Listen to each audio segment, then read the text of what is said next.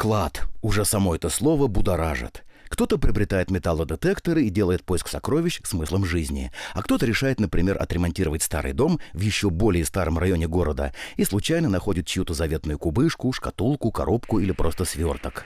Именно такая история произошла недавно в Коврове.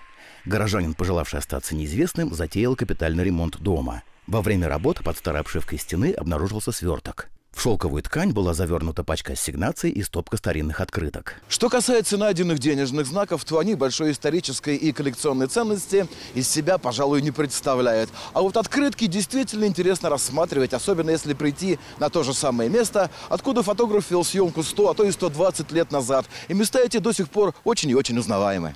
Денежная часть клада примечательна тем, что в ней представлены как царские ассигнации, например, знаменитые Катеньки, Петры, так и казначейские билеты молодой Советской Республики. Поэтому клад можно смело датировать 20-ми годами прошлого столетия. Возможно, человек, спрятавший такие разномастные купюры, не исключал, что советская власть продержится недолго, и старые деньги еще могут вернуться. А ведь один только Петр номиналом в 500 рублей был эквивалентом жалования учителя за два года.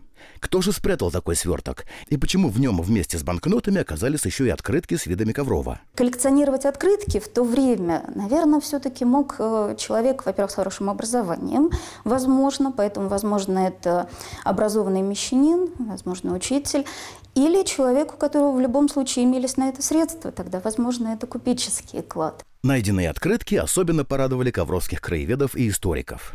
Большей частью открытые письма, как их тогда называли, не подписаны и никому не адресованы.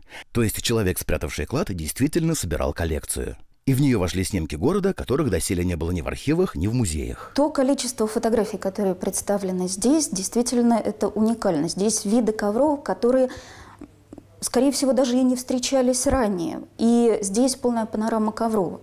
Среди узнаваемых уголков Коврова на открытках представлены торговые ряды, издание женской прогимназии, и вид со стороны Клязьмы и, конечно, Рождественский собор, самый древний в городе, заложенный по преданию самим Андреем Боголюбским и выполненный в камне уже в 17 веке.